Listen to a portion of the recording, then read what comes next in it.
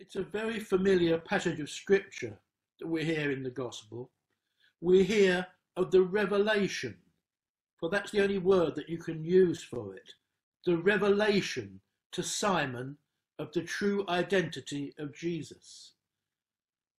The rest of the disciples do not share this very personal revelation and are uncertain about who he is, choosing at first to quote what others have suggested rather than either commit themselves or appear ignorant. Then, when directly challenged by Jesus, Who do you say I am? all voices seem to fall silent bar one.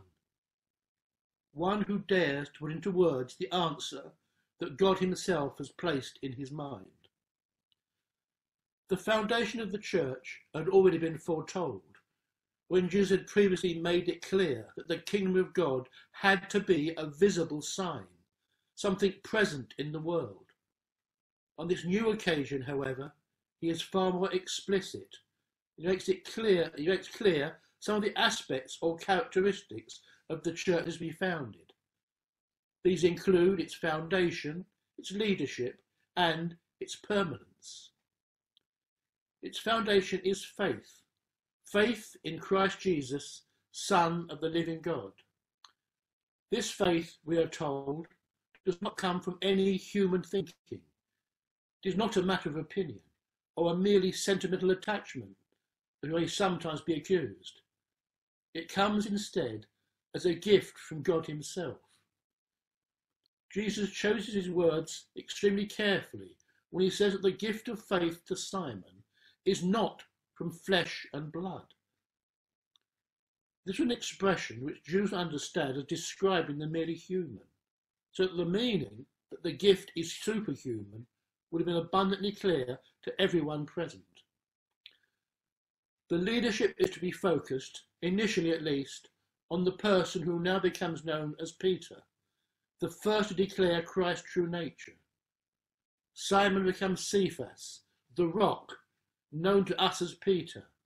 Is on this sure foundation that the church is to be founded. Perhaps there's a reference here to the parable about houses being built on rock and not on sand. This arrangement is not to be a temporary one either. Never, we are told, never will the powers of death overcome it.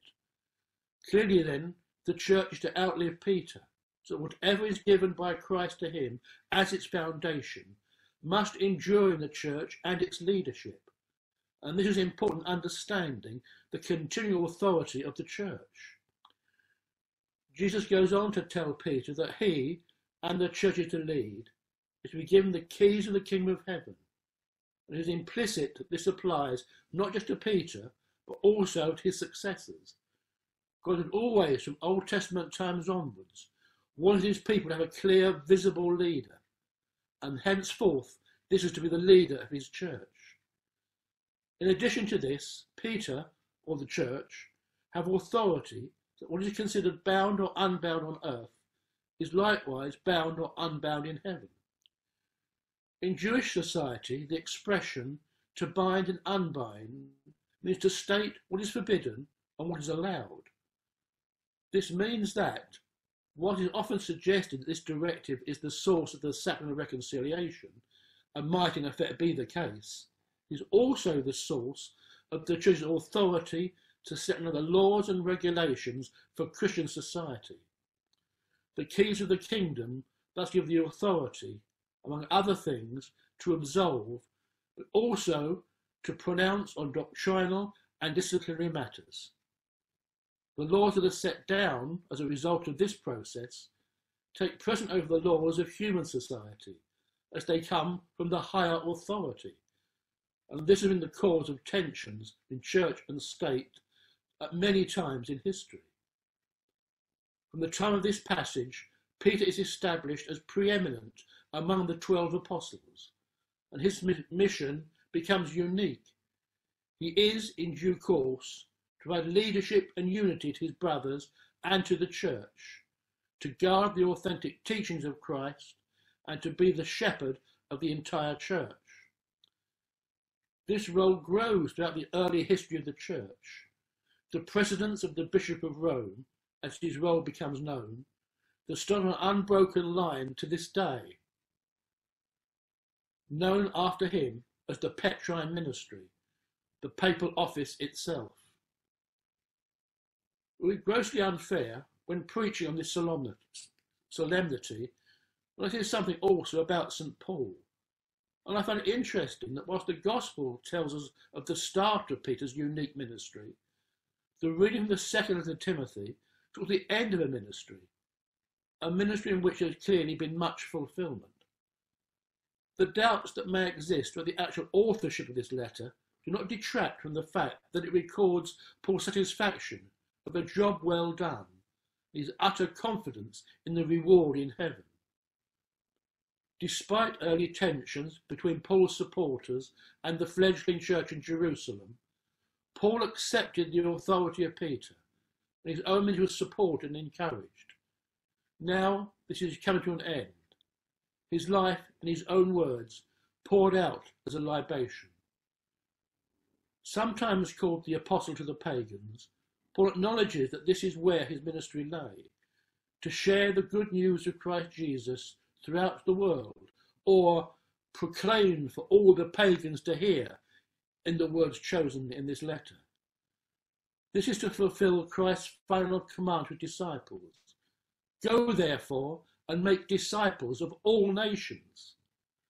This was the commission of the church, and the ministry of St. Paul showed the way in which it was and still needs to be carried out. Through a number of difficult journeys and numerous letters, some of which survive to be included in the epistles, Paul gives his life to make pagans aware of Christ, buoyed up by the faith in the Lord. Now he's imprisoned again, quite probably in Rome, and can see the end of life looming up. But, he, but we see no sign of any regret in this. He looks forward only to his place in the heavenly kingdom. The role of St. Peter has been handed down throughout history and now rests in the hands of Pope Francis. The role of St. Paul, however, rests not with one man, but with all Christians, as we accept the duty to share the good news with everyone. There are still plenty of pagans to go around, I can assure you, even they may not probably choose to see themselves as by such a term as this. So go, therefore, Make disciples of all nations. Share with them the authentic teaching and the unity that is nurtured by the successor of Peter. And may God go with you. In the name of the Father, the Son, and the Holy Spirit. Amen.